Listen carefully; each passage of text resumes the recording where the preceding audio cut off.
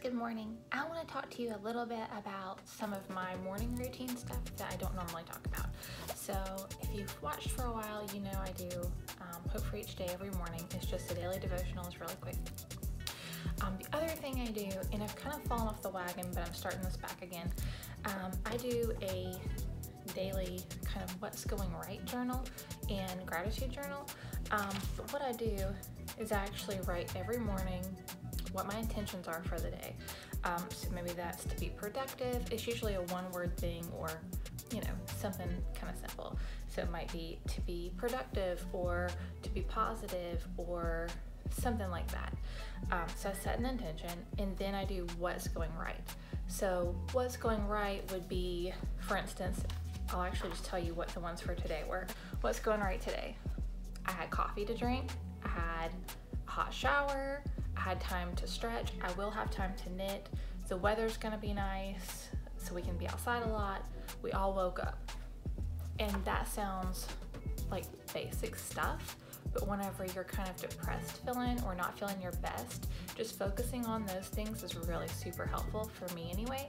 Um, the other thing I like to do is maybe towards the end of the day is go back and write what I'm thankful for. Just an easy way to kind of get yourself out of that like sadness, depression mindset and maybe think a little bit more positively.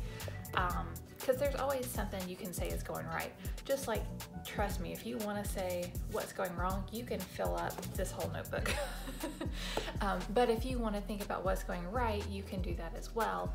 Um, you know, and it might be, like I said, the little things. Like mine's like, ooh, I had coffee for, and I had a warm breakfast. I had a hot shower. You know, it's little stuff, but all that just to get your mind focused in a positive manner rather than being, you know, negative. It really helps. If you can just focus on the good, it really helps you to keep going.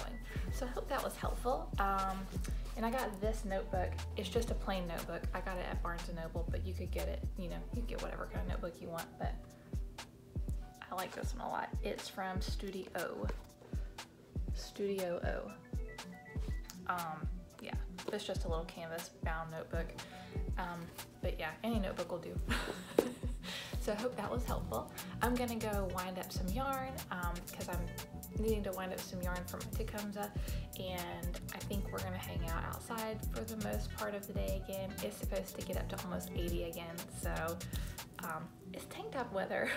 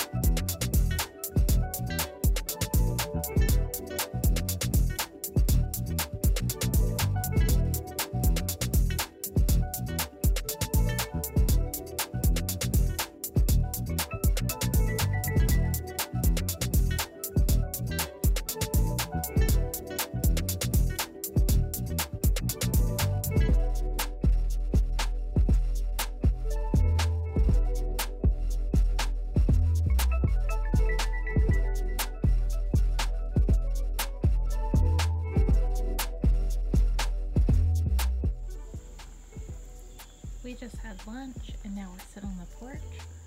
They have their Scully PJs on and I'm gonna knit. This is my second square of the day. So my first one was solid blue and this is quartz from Train Track Fiber Designs. This one's actually sparkly. So that's exciting. Those ears are so precious.